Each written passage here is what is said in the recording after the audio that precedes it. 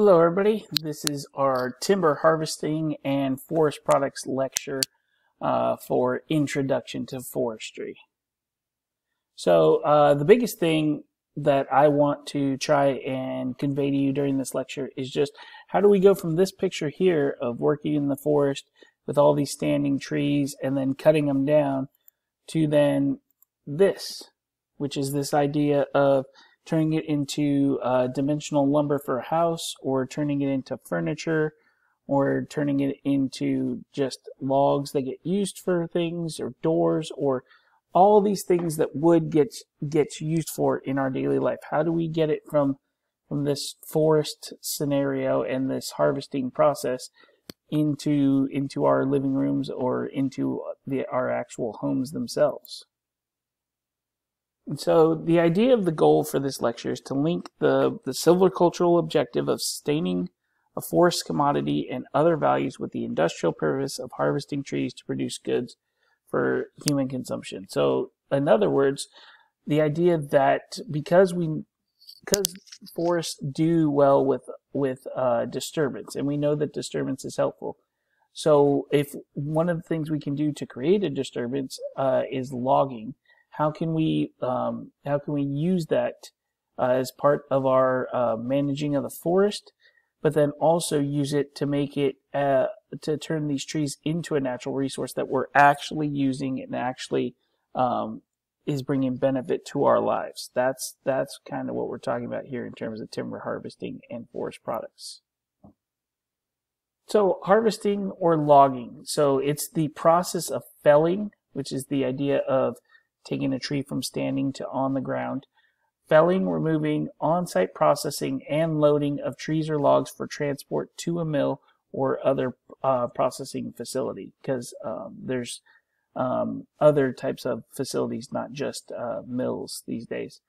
Uh, and harvesting includes all the operations, so cutting, uh, all the operations that include cutting and extracting trees or getting them um, from the stand. And so really it's the whole process, the felling, the removing, the on-site processing. So uh, usually for um, most places that's uh, delimbing of, of logs and then loading them onto the trees and getting them transported to the mill. All that counts as the timber harvesting process. And so this right here is just some different terminology. I'm going to move myself out of the way here. Uh, just some definitions of different things uh, to get used to, um, just in case you, you're not um, familiar with some of these terms. So buck, the term bucking means cutting the trunk to a desirable length. Delimbing means cutting branches and limbs from fallen trees. Extra extraction, removing trees or logs from uh, where they grew to some delivery point. Felling, which we already talked about, that's cutting trees using the saws or mechanized equipment. Forwarding, forwarding is hauling logs by lifting them off the ground and carrying them to a landing. A landing is a cleared area for storing the logs or trees after skidding or yarding or forwarding, all those things we'll talk about. A log is any portion of the bole after it's delimbed and topped.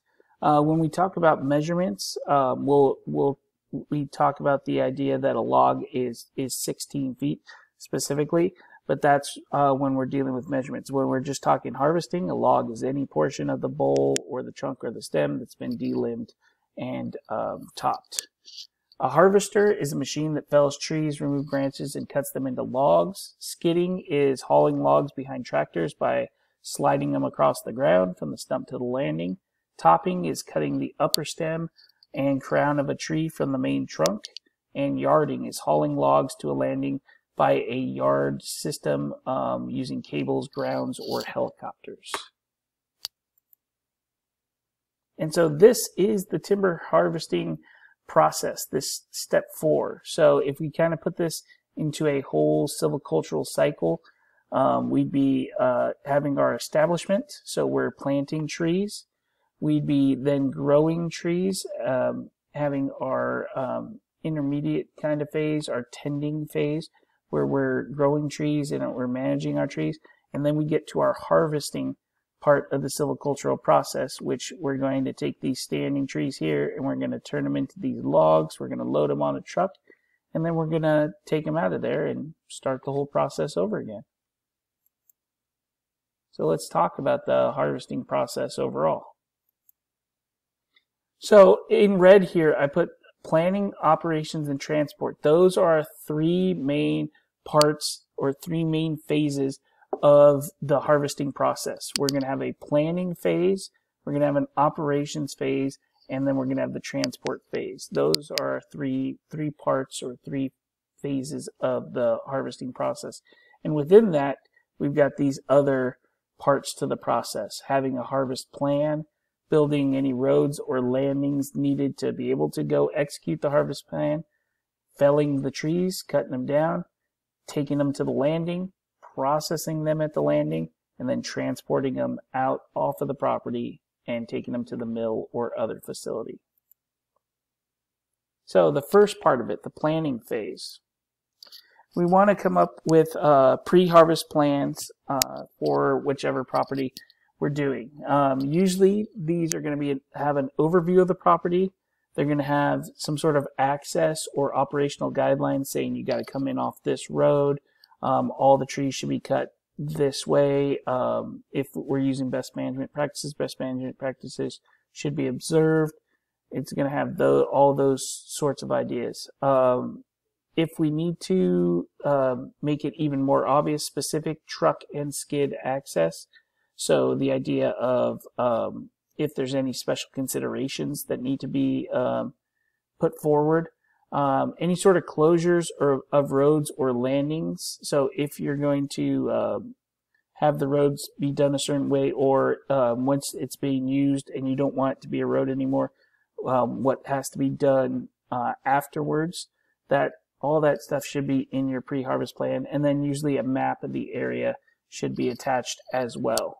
And that's that's good basics to a, a pre-harvest plan. Uh, in terms of forest roads, um, there's three types of roads. There's permanent roads, there's seasonal roads, and there's temporary roads. Permanent roads, you're going to be using them year round. Seasonal roads, you only have access during the dry season. And then temporary roads, usually only for a short uh, duration of time and for a designated purpose. Um, you'll hear the term skid trails a lot um, um, because we talked about uh, skidding logs and uh, pulling them from the stump to the landing. So because you're pulling a log along the ground, you're basically going to almost create a road and the or a trail, and those uh, those are called skid trails. And so a lot of places you might not want to have your skid trails um, be open or have people think that they're roads. So you might want to do something to to close that off after you're after you're done. So in terms of operations, our second part, kind of the the exciting part of uh, timber harvesting, we've got three basic systems in timber harvesting. We've got whole tree systems, where you're going to fell and skid the entire tree out of there. So the idea that um, a machine or a person is going to cut down the tree, and then you're going to have a skidder come in there and pull that whole tree out and take it to the landing. Um, you might have tree length systems. So you're going to delimb and top the tree at the stump and then skid the usable portion to the landing. So the difference here would be I cut down the tree, the machine or a person cuts down the tree, and then right there at the stump, I'm going to take off all the limbs, I'm going to take off the top, and I'm just going to pull out the log that I'm using and take that to the landing. And then you have cut to length systems, which are going to fell, delimb, and top the tree to where it falls, and then you're going to cut the trunk into whatever size logs, um, usually 16 foot logs, um, but whatever size um, you're looking for, and cut them right there at the at the at the uh, stump, and then you're going to take those logs and move the logs to the landing. So those are our three basic systems: whole tree, tree to length, and cut to length. So what does that kind of look like? So on the left here, we've got a whole tree supply chain. So here's our forest. We've got our uh, harvesting machine here that's going to cut down the whole tree, takes that whole tree, um, sticks it in the uh, in the other machine here. We're going to take it to the landing. We're going to load it up, It's going to take it to uh, the mill and get it processed. You can also have kind of the same thing happening with somebody who's just cutting it down with a chainsaw instead of a machine. So this guy cuts down the tree out of the forest.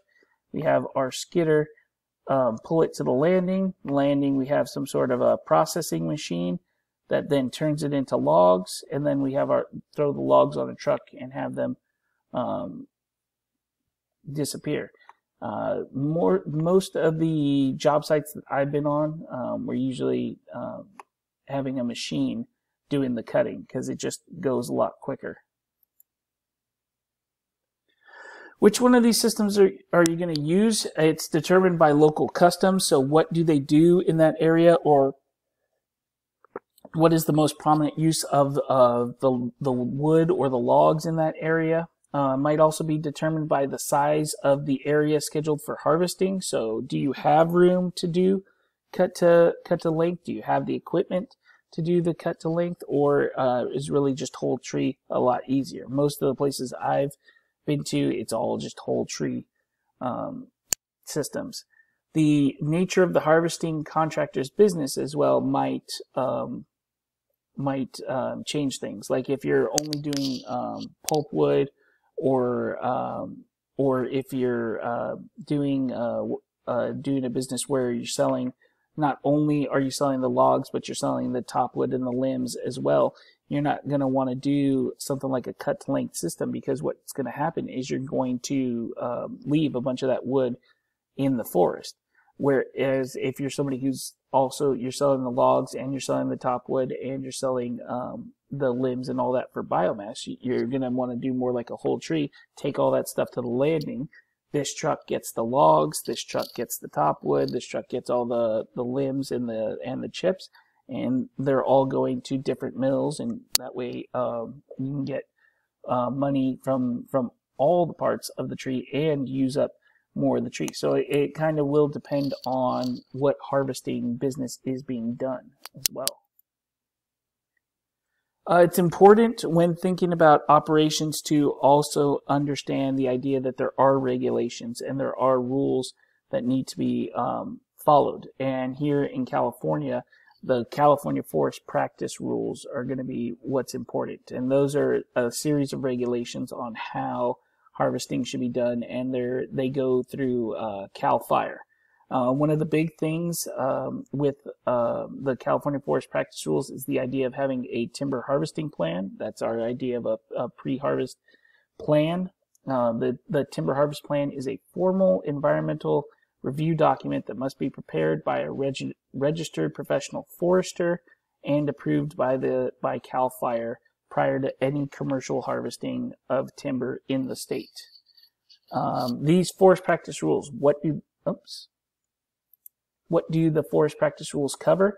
Um, they cover the review, appeal, enforcement processes. They cover the silvicultural systems and your regeneration method that you're going to use your harvesting practices, your erosion control to make sure we're not making a mess environmentally, uh, the site preparation you're going to do, the water course protection you're going to do, any sensitive watershed designations. So, um, do you have any streamside management zones or anything um, that we have to worry about?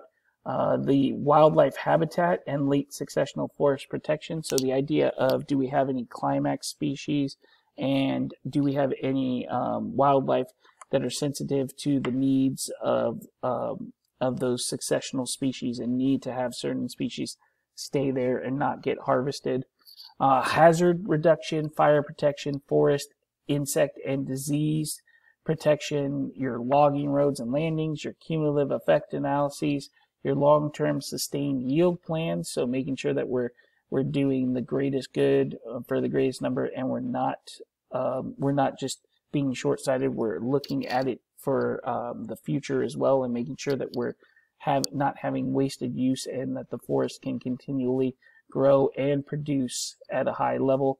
And then any other special rules um, like county regulations um, or um, any other regulations that might be in place. So um, really making sure that uh, you have your bases covered in terms of the regulations. So the way you do that is by having a very detailed timber harvesting plan. Now, there's a lot of people who definitely will say this is part of why logging is so hard in California, but the idea is uh, when you're when you're thinking about uh, the ecosystem and how every little bit of the ecosystem is tied together, it's really important to to just think about it and have to have to think about all of these things uh, and really make sure that what you're doing is the right thing. And not only are you doing the right thing that it makes the most sense uh, not only for your landowner but for the ecosystem itself so what kind of equipment do you use to get this the operations done? Because we talked about the the big plan that we need. So how do we get this stuff actually done? So a feller buncher is um, for me, the most fun piece of equipment to go watch do work. Because this is, uh, this piece of equipment is going to go up to a tree. It's going to grab onto that tree. It's got a big blade that you can see down here at the bottom and it's going to grab onto that tree and then just saw right into that tree, cut it off and pull it out and you got a tree like that. So it fells the tree, it cuts the tree off the stump, but then it's also, it's a feller buncher. So you can grab multiple trees. So it grabs one tree, cuts it, pulls it, goes to the next one, grabs that tree and the first one, cuts it, and just keeps doing that and can grab multiple trees at one time. You can see this feller buncher right here has like eight, eight trees in it right now, seven, eight trees. So it, it can cut a lot of trees down pretty quickly after the feller buncher, I'm going to move myself down here. After the feller buncher does its work and cuts the trees down, it'll lay it'll lay down the trees that it has, and then you'll usually have a grapple skidder come in or a tractor, um, some something that's going to be able to grab onto the logs and then uh, drag them out of the forest. So you can see the skid trail that's being created right here by the by the skidder, and that thing's going to pull the logs out of the forest. Usually, um, once that happens, the skidder will then take it to the landing, and at the landing, uh, that's where you're going to have a knuckle boom loader or some sort of a loader uh, where it's going to take the trees. The grapple skidder will pull up, kind of drop a bunch of trees right here, and then the knuckle boom loader, um, which is this machine right here, might uh, have a delim delimbing machine attached to it, which is this machine right here. So it's going to pick up one of these logs. It's going to put it through the delimbing, delimbing machine and pull it through the delimber. And then it's going to have a nice just log with no uh, branches that it's going to put down to then be um, pulled away and uh, hauled away to the mill. So you can see you've got these whole trees kind of here in the background and then what happens is it looks like this guy's working right to left. He picks up these trees right here, puts them through the delimbing machine, and then these are the logs with no with no limbs that have been delimbed afterwards. So felling. Felling can be very easy uh, in the south because you've got a lot of flat land and uh, easy to maneuver around. But out here in California, especially in Northern California, dealing with a lot of topography and a lot of hillsides. So felling uh, using machines can get pretty complicated because you can see these machines are lock, locked into to the machines or locked into other uh, parts of the land to make sure that they're not tipping over or falling down. Uh, can be can logging can be a hazardous business. Uh, I've got a, right here, I've got a uh, little YouTube uh, video you can watch in terms of ground-based yarding. So uh, if you want to see uh, yarding, go ahead and hit pause right now and then watch that video and then come on back. But the idea of yarding is that there's some sort of a system set up either um, via cables or um, helicopter yarding is pretty pretty interesting, but some sort of system where the log is being moved. You can't, you can't basically you can't skid the log through the forest, um, whether it's because of topography or whether or whatever else is going on. So you're going to um, you're going to um, use a, a, system to to pull the logs through. Um, it it doesn't have to be um, aerial. It can be ground based uh, yarding, but the uh, cable yarding uh, gets pretty interesting. So uh, you can kind of see the cable here and basically you got these guy lines and you got your post and you got your skyline so you're you're pulling your logs up uh, and pulling them up the hill here because you're harvesting down here. And basically what you'd have is you'd have some sort of a runner or some sort of a machine. Um, but usually um, when I've seen this I've seen it with uh with um, people who, who are out there setting chokers. And you just basically you, this uh, the cable will drop a line. There will be somebody there who grabs it, attaches it to a choker that's been wrapped around the logs. The you attach that to the the line. The line gets pulled up. The logs get pulled up, and then the cable takes it up hill here to the to the landing area. And I've got another YouTube video here to show you cable yarding. So if you want, pause the video and watch that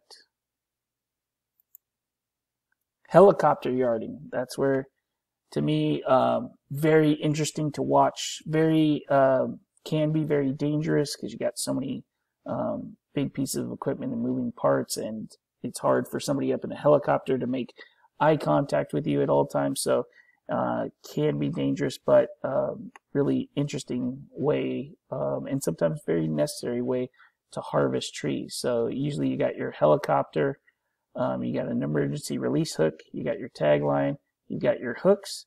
Uh, you got the chokers, which wrap around the logs. You get you attach the chokers to your tagline, and then you, the helicopter will pull up the um, the logs and take them over to the to the landing site. And I did forget to mention that right here, another video if you want to watch helicopter yarding. In terms of transport, that's the third part of of the um, system, the planning's operation. Transport. Transport is also going to be your um, uh, one of your more costly parts of your system, um, and actually one of your uh, harder parts of your system is just trying to find um, competent and um, trustworthy uh, uh, transportation because it's uh it's it gets very expensive and then um it's very it can be um just a very hard business in terms of hauling to find people who can do it because uh, it's not um, it doesn't it pays decent but it also doesn't um, it's not something the idea of, of um, trucking doesn't attract uh, a lot of people these days. It doesn't um, it's not a job that seems inspiring um, to a lot of people. So usually you um, you get people who um, are are kind of taking jobs to have jobs instead of having people who are just love trucking. Now, if you find somebody who you're working with who loves trucking, loves hauling, what I would say is keep that person and keep them their number on speed dial and befriend them as much as possible and be as nice to them as much as you can and make them your your best bud because um, hauling can be can be very difficult. And especially uh, if you don't have mills that are close by or um, or you have a place that's really restrictive on weight limits or um, depending on the operation you have because you might need multiple drivers and multiple trucks and you really it it can be a complicated part of the operation because you could have an area where you just have one logging crew that you're dealing with, but maybe you might have to deal with multiple hauling crews because you have to have multiple loads going out per day and you got one going to the sawmill, one going to the biomass facility, one going to the chip mill. And that really, um, it just logistically becomes very complicated so it's really important to to understand that hauling is extremely important because that's our final step in getting it to the mill. Um, but it's also um, it also it's not just as simple as like let's throw some logs on the truck. You have to have a driver who um, has the right equipment to be able to haul the logs. a driver who makes sure that um, that they've secured the logs safely, a driver that's competent about the weight requirements um, in terms of being sure that they're they're not going to get ticketed, and then also the the hauling drivers, the one pulling into the mill, so they're the one who has to pick up the mill ticket, which is going to um, be um, basically your receipt that the logs were received, so that you can get paid by the mill. And so our forest products. So the big idea is that was our whole timber harvesting um, process. That was, you know, all the way from the stump to the mill. So now um, I'm going to kind of skip what happens at the mill because I don't know that um, I can best represent it um, other than, um, you know, look having you look up a video about what happens at a mill and how a tree becomes boards or a tree becomes paper or or those sorts of things. But we'll talk about the process a little bit. Um, so in California, we have um, wood using industries. You can see for the most part, uh, we're talking about Northern California as opposed to um, Central or Southern California, but we do have some stuff, not much in, let me move myself up here, not much uh, in Southern California, but you can see around the, the Bakersfield area, we have a few spots. Uh, so in the uh, bottom here, I've attached a link to the uh, to this map to get the, the most updated version of it. Uh, what we have in here, so uh, just to kind of give you an idea of the legend of the map, the yellow areas are areas are um, facilities that used to be active, but they're currently idle. Anything that's green are the, the active facilities right now. So uh, here in Bakersfield, the only active facility we have uh, currently is a uh, energy biomass uh, power plant, and that's a, a little bit um, northeast of town. Uh, and then um, up near Porterville, uh, we've got a, uh, that's our closest sawmill, active sawmill. It's a Sierra Forest Products uh, sawmill. So uh, for California's forest product industry, sawmills make up the largest sector, but that's um, majority of that's up in Northern California. Um, they produce about 7% of the U.S. softwood lumber production. So softwood being the idea of conifer trees, pine, mostly that the stuff that becomes uh, dimensional lumber. Um, so for the most part, that's what we're that's what we're producing in California. A lot of Doug fir, um, and then um, pine trees as well. Some some redwoods uh, as well um, make up that softwood production. So in terms of our landowners and forest products, um, what's really uh, important to think about when we're thinking about forest products and this idea of when I when I start thinking about forest products and and the idea of landowners, I start thinking about how am I going from this person's piece of land and looking at their trees and having them say, so what do you think? or what's out here?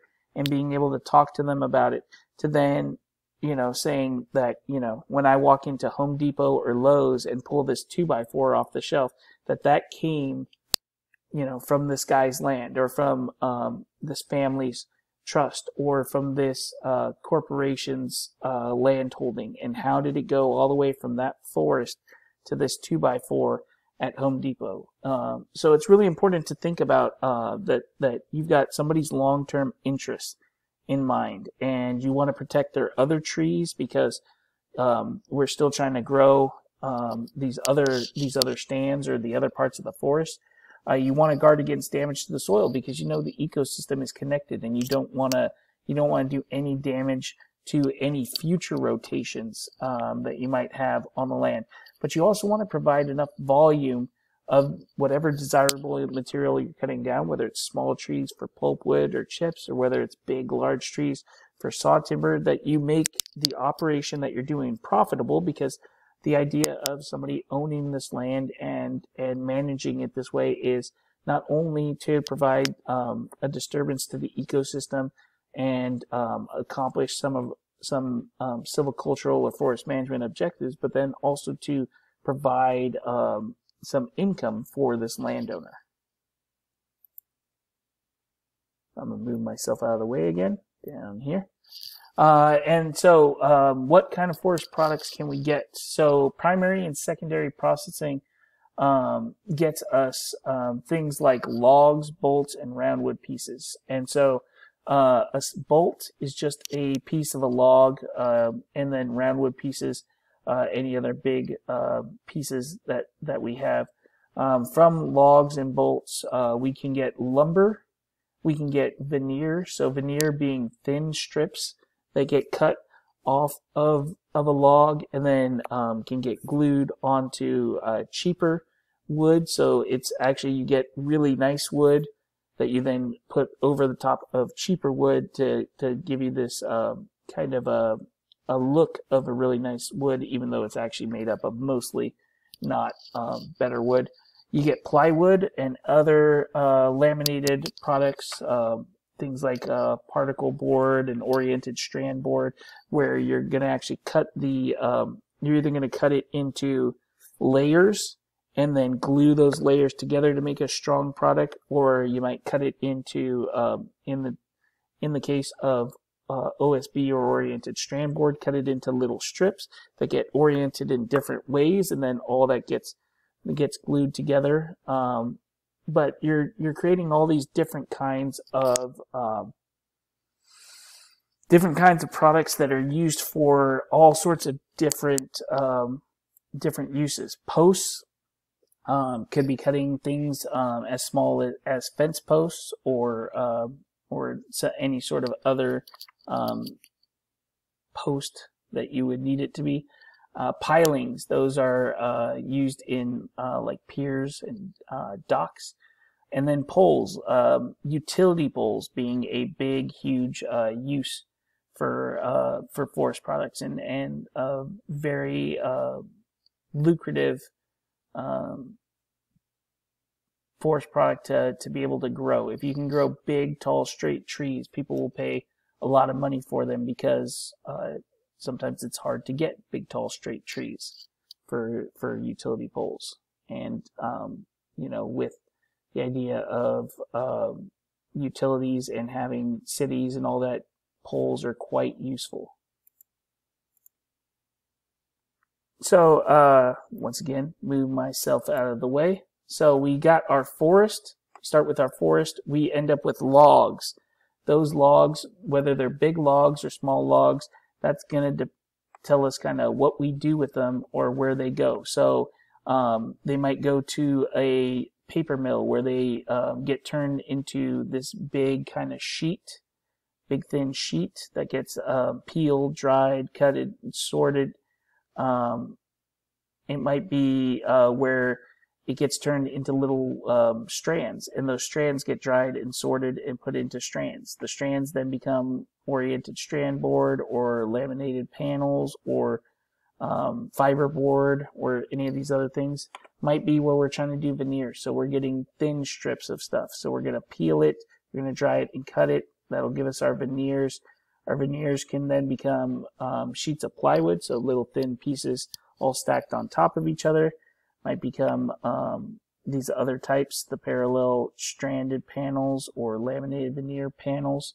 Or we might just be taking the logs, cutting them into dimensional lumber, uh, and then uh, that dimensional lumber, um, it can become all sorts of different things. Uh, one of the uh, most interesting um, uses for uh, for the wood uh, lately has been cross-laminated timbers um, which are proving to be um, very fire resistant, very strong, even more fire resistant and strong than some metal that are being used in buildings. So there's all sorts of different ways. Just because you cut saw logs doesn't mean um, necessarily that it just becomes dimensional lumber and just becomes um, just whatever you would consider kind of a regular piece of wood. It can become paper, which the paper process isn't even on here, but I kind of talked about it briefly where it gets turned into this big thin sheet that then um, gets rolled up and used in different ways, or it can become strands, it can get become veneers, it can become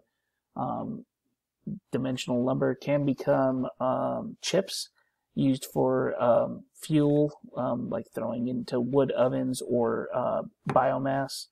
There's all sorts of uses for, for wood.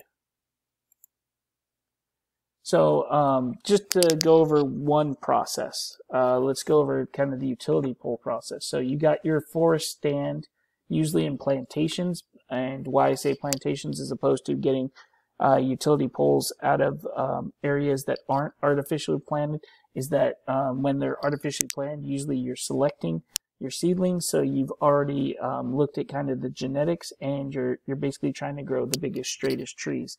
Whereas if we're going off a of natural regeneration, maybe we get big straight trees, maybe we don't. But with a plantation, we're more more more likely to get a big straight tree. So we have our plantation. We're going to bring in our logging crew, and we're going to harvest those trees out of there. Maybe we take them all. Maybe we just take some. Depends on your plan and um, your your stand. So from the stand, we go to the the treating plant um, or the the mill, um, whatever uh, whatever it's called. This um, example comes from South Africa. Um, so they call them treating plants. We call them mills here.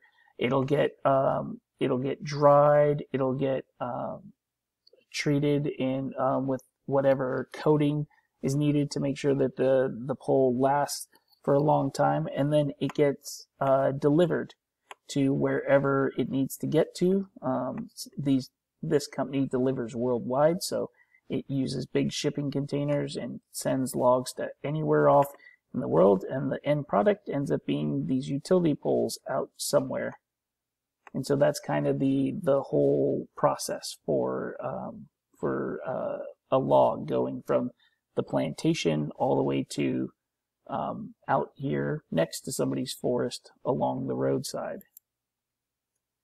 But there's all sorts of other uses for logs, and um, you know there, you could do a whole class on timber harvesting and forest products. So I'm just trying to give you a, a big overview so far. So I mean dimensional lumber is kind of what we're all most used to when we think of what does a tree become.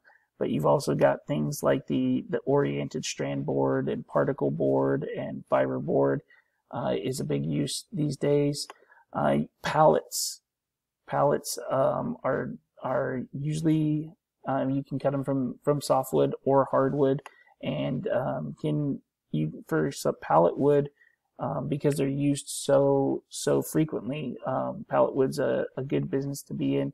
You might just be cutting it for. Um, you might just need um, big logs that you're going to then cut into uh, furniture, and and be taking the log itself and cutting it into specific um, specific uh, dimensions and using um, all sorts of different tools to cut it and turn it into you know, the back or leg of a chair or cutting it into um, a table, uh, wood to be used in a tabletop. There's all sorts of different uses um, for wood these days.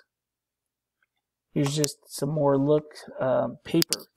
It's uh, often, I think, that people forget about the idea that paper comes from trees and that um, even something like this, these big, huge white rolls. That came from paper and that came from um, a process where you take that the tree usually smaller trees or um, pieces of trees and you basically um, grind it into grind it into kind of sawdust in little bits and then that gets thrown into the uh, vat and into this chemical mixture that then is able to put it all together and turn it into these big huge rolls of paper. And so lots of different uses lots of different sizes also a dimensional lumber. Um, these are um, these are square cants. Um, one of the big uses for square cants uh, still is um, the railroad industry and being put down uh, underneath the tracks to keep the tracks in place. All sorts of uses for wood. Um, so are different parts of the tree. How do they get used? So small trees and branches, stuff that's usually referred to as topwood, it gets converted into raw material for reconstituted products, gets turned into paper, particle, and composite board, insulation board, It can get turned into chip for biomass, and it can also get turned into feedstock to produce wood-based chemicals. So here's the paper making process. I'll kind of throw myself down here, back out of the way. Um, just kind of shows you that uh, it takes a lot um, to to get paper made. So here's our our wood in our forest gets uh, debarked and chipped, and then we get it. Uh, it can get chemically pulped and mechanically pulped. It has to get cleaned and um, then put in through the whole process for paper making. It's a it's a big technical process that really you have to almost see um, how many machines and how big of an area it takes to really put this whole thing together to really kind of um, put it into perspective um, how complicated it is to take you know something um, like a tree and then turn it into you know something like a, a notebook right here And so um, that's that's the the lecture, but I have put a bunch of videos here. So if anybody is interested in watching timber harvesting, all sorts of different types of timber harvesting, um, wanting to see uh, what happens at a mill, the history of timber harvesting, how roads get constructed, how a harvest sale is done, all these different things. I put a bunch of different videos, some with music and some um, where kind of get you fired up and somewhere you just are watching the whole process happening, but um, all sorts of different videos. Do you have to watch all these videos? Absolutely not. But if it's something that interests you, I'm hoping that I provide you with uh, enough videos to kind of uh, keep you stimulated. So um, that is timber harvesting and um, all the different types of forest products that come from them or um, as best I can do